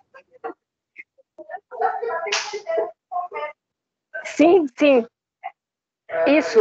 Em relação, porque ontem nosso, por exemplo, o post antigo nosso foi retomado, um post de dezembro do ano passado, para fazer críticas a essa situação. E nós ficamos pegos de surpresa, assim, não entendemos. Teve mais é, alcance do que quando ele foi colocado no período. Eu, eu vi, menina, uma loucura. Tu compartilhou ali com a gente esse post, ficou realmente bem ruim. Eu não sei, Cisino, ver que, que tu, eu perguntaria. A gente é, teve um, não sei se tu acompanhou, teve um problema lá em Santa Catarina com um julgamento de uma menina e virou uma hashtag com bombástico, que viralizou uh, o pessoal querendo uh, contra o, o, a justiça, o MP de uma forma geral. E aí apareceram, no, na nossa também é só a hashtag mesmo, né? Não apareceu assim como da Sim. Fábia, mais contundente. Eu não sei eu, se a gente teria que responder ou não. É, eu acho que nesse caso, a instituição tem uma posição se não, espera. O, tem alguém do MP de Santa Catarina aqui? Não, né? Silvio, eu acho que ele, ele deve... Eles não, estão com posição, né? Eu, eu, eu não responderia, eu escutaria, não, não, não, não dá para responder um por um, não é sobre isso, né? Eu esperaria... Porque, na verdade, também é, é uma, foi uma atuação de um MP específico lá de Santa Catarina. Para a gente se posicionar, cada um no seu estado, fica é. complicado né? E aí, de repente, uma posição mesmo do CNMP, que a, a Lenita já até trouxe para a gente que foi feita, porque ou a gente se volta para falar realmente do trabalho que é feito no dia a dia com relação à defesa da mulher, né? É, porque normalmente esse, esse post que a Fábia tinha era um post né, falando dessa atuação, de repente reforçar esse trabalho e abrir os canais para denúncia mesmo, né?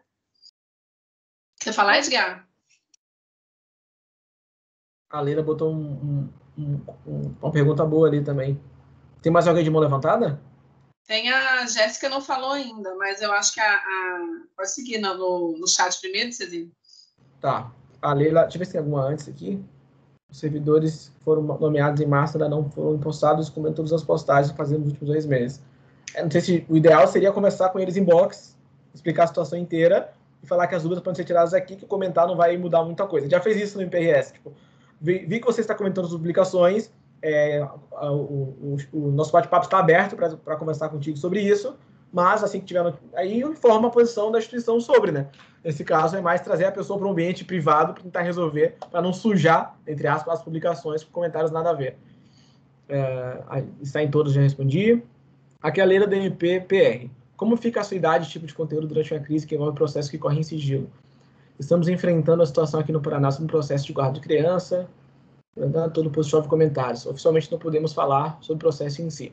Tentamos dialogar com alguns perfis por DM explicando a situação, mas ela, elas não estão abertas a atender aqui, inclusive a decisão do cabo judiciário da MP. Isso é um exemplo muito bom também, que eu tive assim, a gente tem que estar muito atento aos nossos comentários, porque eles são uma fonte muito boa de conteúdo para fazer post, tá? Então, vale muito um post no comunicado da instituição sobre esse assunto e que ele pode servir, inclusive, como um comentário para as outras pessoas, sabe? Tipo, faz um post explicando que não cabe a nós, o Ministério Público também está esperando a manifestação, nananana, e aí pega esse conteúdo, deixa prontinho ali, quando a pessoa fala, ah, aí tá tal coisa, oi, tudo bom? Fizemos a nota aqui nesse conteúdo, confira.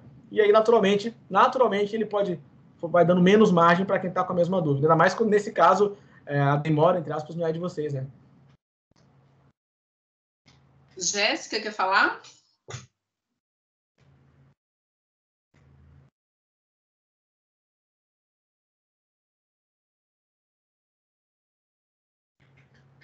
Bom dia, estão me ouvindo? Estamos te ouvindo. Ah, É, na verdade, a minha contribuição é só essa questão do comentário, porque realmente é muito delicado a gente responder, né? E assim, é, com base também no que vocês falaram, como é que a gente faz aqui no MP de Sergipe? A gente recebe também muita denúncia por meio de comentário, né? E assim, a gente como fala, a, gente, a nossa equipe é pequena, somos dois jornalistas, né? E praticamente só eu que, que cuido dessa parte do, do Instagram. A gente recebe muito direct, muita coisa, então não tem como registrar essas denúncias nem responder os comentários. Então, a gente aqui é, na verdade, a gente não apaga comentário, porque assim, a gente tem aquela ideia de que é, a população, o seguidor tem a liberdade de expressão, né? Então, assim, a gente fica. A gente tem o nosso direito de não responder, né? Mas assim, de apagar, a gente fica meio assim, a gente só bloqueou uma vez um usuário, porque a gente identificou que era um robô, né? E ele estava com uma sequência de, de, comentários, e quando a gente entrou na página, a gente realmente verificou, era um robô, mas assim, era de um caso que o MP já estava investigando e depois virou até uma operação aqui, foi no, no município, uma questão envolvendo o prefeito. É, no mais, a gente faz também como o Cezino falou, a gente chama no direct e, e, prefere dar uma outra orientação. A gente tem mensagens prontas quando se refere à denúncia. E se a uhum. pessoa insiste muito lá, a gente informa que o Instagram é um canal apenas de divulgação institucional, mas que ele formalize a, de, a denúncia dele por meio da ouvidoria, né? Já que a gente não tem como filtrar nem como responder a todo mundo. Mas, no mais, é isso. A gente tem muito cuidado realmente com essa questão de, de, de comentários, né? E aí a gente mantém todos na página e tenta administrar da melhor forma. Era isso. Obrigada. É isso aí. É, e uma coisa que é importante falar também é que, às vezes, um comentário negativo é uma ótima oportunidade para a gente fazer uma resposta institucional e deixar ali registrado para que outras pessoas, quando vão, talvez a pessoa vai fazer o mesmo comentário negativo e já está a resposta ali. Então, não precisa mais fazer. Então, se posicionar também tem esse benefício.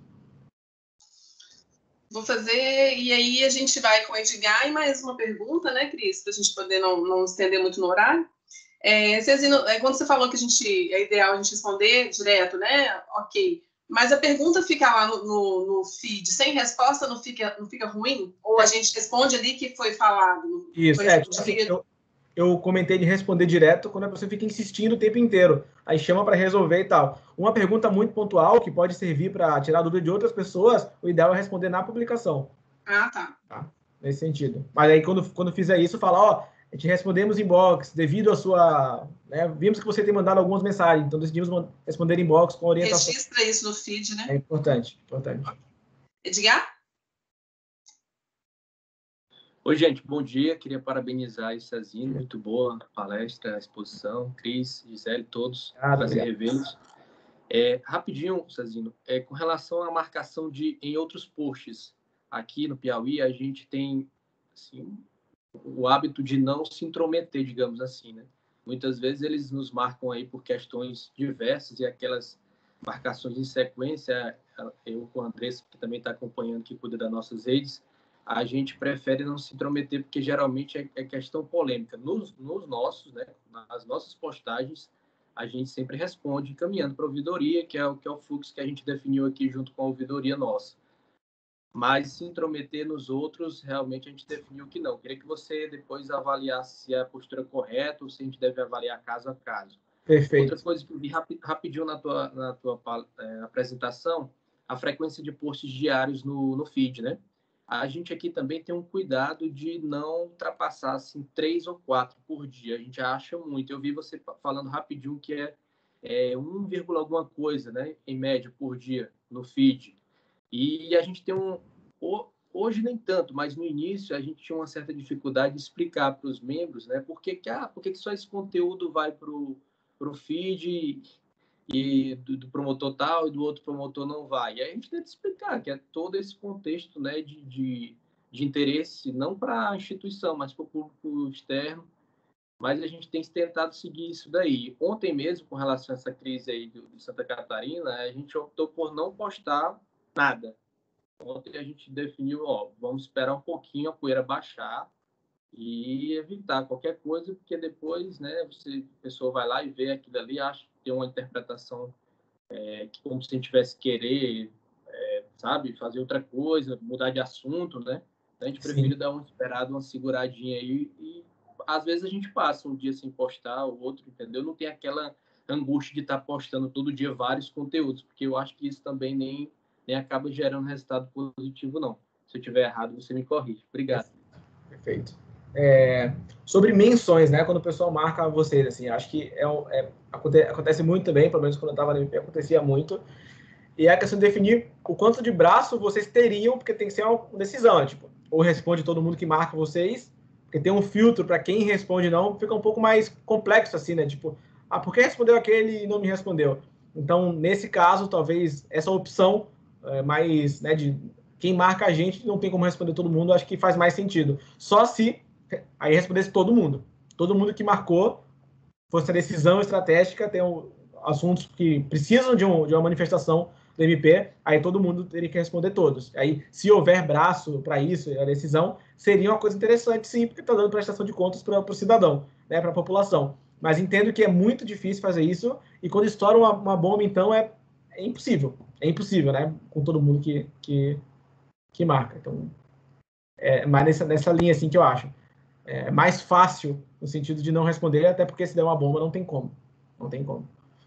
E sobre a quantidade de posts, é, o que eu mostrei ali, a média, né? Mais ou menos, o pessoal posta 1.3 por dia.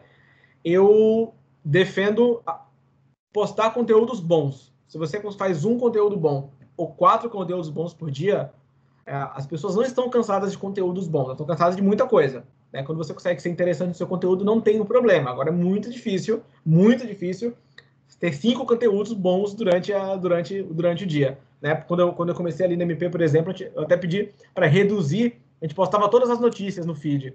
Eu falei, olha, não tá bom, porque essa notícia aqui de uma reunião que ficou marcada na outra reunião, o público não quer saber. Então a gente começou a postar aquilo que era mais interessante para o público. Então foi a decisão que a gente teve que diminuir o número de postagens por dia e aumentou o número de seguidores, porque ficou mais interessante a página. Então é, é mais ter esse cuidado do conteúdo que pode ser interessante ou não, do que o número em si. Mas de fato, 10 conteúdos por dia assim já fica uma coisa além de cansativa, difícil. Fica, fica cansativo para a equipe e para e quem segue vocês também. I would not be a whistleblower. The Oi, eu, eu ia fazer uma pergunta aqui, eu queria fazer uma money. Vamos, chamar. o João, baixou a mão, não era? Tem mais. É, não, o João. Quer fazer uma pergunta? Fique à vontade.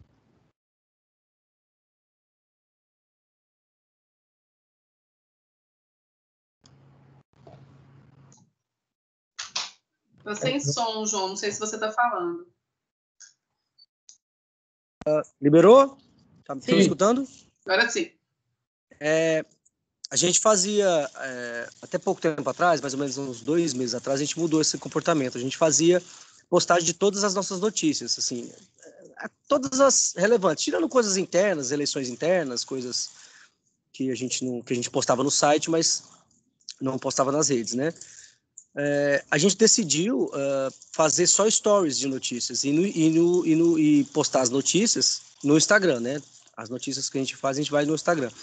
E, faz, e só posta stories de notícias, porque a gente, eu comecei a sentir que o feed estava bem poluído de, com notícias, mesmo com layout, com padrão é, de identidade visual, mas é, o conteúdo de notícias, como é uma coisa factual e, e, e, e com data de vencimento, a gente acabou optando por, por postar no Twitter e stories de notícias. A não ser que, que seja uma notícia muito relevante, de, de, grande repercussão, a gente posta no feed. E esse tem dado resultado. A gente tem. Não sei se foi só em função disso, porque também teve outras, outras é, alternativas que a gente utilizou para ganhar engajamento, mas a gente é, percebeu um ganho no, no, tanto no, de engajamento quanto de, de novos seguidores. Perfeito. Ô, João, eu acho que é, é isso aí, tanto que se você ver ali quando eu fiz aquela curvinha, né, querendo ou não, a, como você disse, as grandes notícias elas vão para o feed e tal, tomam uma proporção maior, ponto. As notícias médias, vamos chamar assim, elas são mais interessantes para quem já conhece a instituição, ou seja, quem já segue a instituição. Então, você optando por isso, estrategicamente, naturalmente você fez o funil, né? Que quem já está dentro do Instagram MP está mais aqui no meio, recebe conteúdo um pouco mais específico. Então é mais interessante para essa pessoa do que pessoas que não, não seguem vocês ainda. Considerando que o feed é um formato que, que geralmente atrai novos seguidores, porque as pessoas encaminham. Então, é uma estratégia bem interessante é, fazer isso. E uma das coisas que eu até tinha falado para a Cris quando eu estava lá ainda, que pode ser interessante também, às vezes, é fazer toda sexta um fechamento das notícias da semana, assim. É uma coisa mais mastigada para o público, para ficar, né, não, ficar bomba de, bomba de notícias que pode não ser interessante. Já cria ali um dia específico para colocar os highlights da semana, assim. Mas colocar as notícias médias das histórias, eu acho que é bem interessante. Bom, assim, ó, tem uma pergunta aqui no chat da Marcela, e aí eu acho que a gente faz essa. Responde essa, e aí eu vou. Tem uma questãozinha para encerrar também, daí para responder a minha, e eu acho que a gente encerra, né, Gisele? Tá. Perfeito. Ali é, é da Marcela, tu tá vendo ali no, no chat? Uhum, Nas redes, pode tá. responder. Nas redes sociais, como podemos sair da caixinha e deixar o estilo quadrado de lado uma instituição que desde o início vem trabalhando de forma mais tradicional? Essa é uma ótima pergunta, né? Essa foi a pergunta que eu fiz no primeiro dia lá do MP. Tá, olha esse, né? Vamos ver como é que dá para fazer aqui um negócio diferente. É difícil, envolve a transformação cultural da instituição, que acho que todas estão passando por esse momento agora, mas há maneiras de você pensar o seu conteúdo de uma melhor maneira para o público. É, e aí, naturalmente, isso fica uma coisa menos tradicional. Eu vou dar uns, uns exemplos. Como eu falei ali, ao invés de colocar Feliz Dia do Livro, você perguntar para o cidadão qual o livro que ele mais gosta. Ao invés de você falar nova lei ambiental, dizer essa lei ambiental pode ser usada nesse sentido, nesse sentido, nesse sentido para cuidar do seu pet, botar uns emojizinhos. A gente fez ali no, no MPRS, foi um, um, uma ação um pouco extra de só redes sociais, assim, que foi o chatbot, né? Foi o Fale com a Manu, que é uma menina que tem a situação que teve a imagem íntima compartilhada, não, não sente confortável de falar com o MP. O MP, acabei de mandar uma foto minha na situação tal. Então a gente criou uma personagem de 14 anos que também já passou pela situação para essa menina sentir mais confortável de falar com ela. Então é uma maneira de quebrar um pouco a lógica de entendo que a minha persona do MP não comunica com o público jovem e vulnerável. Como é que eu posso me fantasiar de uma pessoa que ela, que ela falaria mais?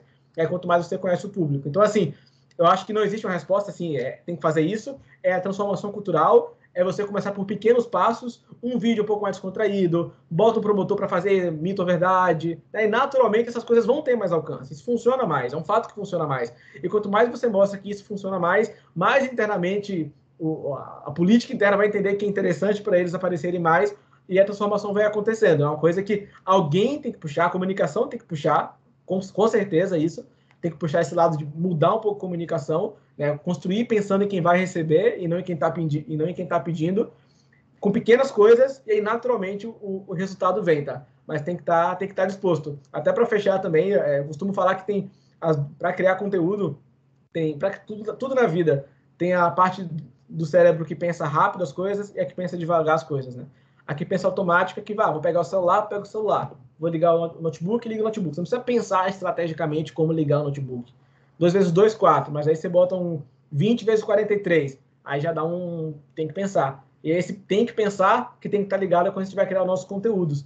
Não é faz o card, tá? Card é só fazer aquele formatinho ali e postar, não. É calma, vamos com calma. Qual card? Qual tipo de conteúdo melhor? O que é que tá bombando agora? E eu entendo que durante o dia a dia é mais difícil fazer isso, mas há tempo. Há tempo. Há maneiras de se pensar com o lado estratégico do cérebro antes da surpresa chegar para já estar preparado para isso. Então, isso é uma das coisas que mais faz a gente sair do quadrado. É parar para pensar no conteúdo ao invés de só publicar. Eu acho que está até respondido o que eu ia falar. Eu acho que tu, considerações finais, se tu quiser falar mais alguma coisa para a gente encerrar, passar, passar a palavra para o pessoal do FNG, para o João, não sei se ele quer fazer um encerramento, Gisele.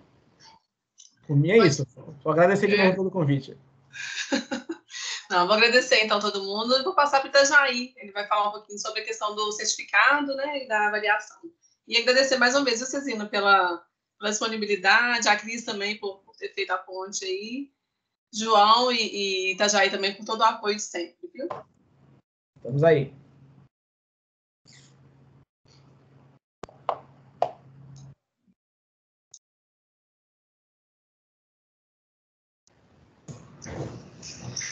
É. Então é isso, pessoal. chegamos ao final desse nosso webinário e eu queria agradecer muito a Gisele, a Cris e ao Cezino por compartilharem conosco o seu tempo e o seu conhecimento.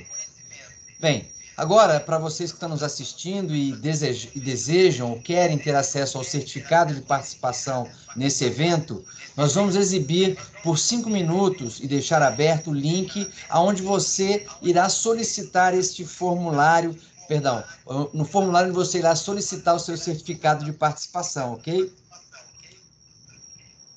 Só um instante.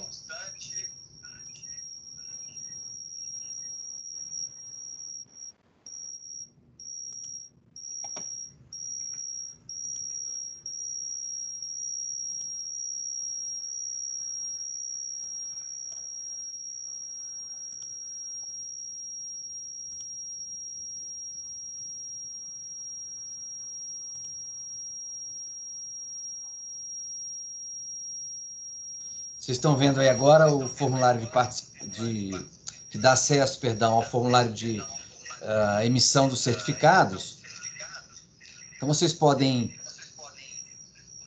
é, a partir desse endereço ou apontando o seu celular para o QR Code, acessar esse formulário, preencher os campos e você vai receber no seu e-mail o certificado de participação.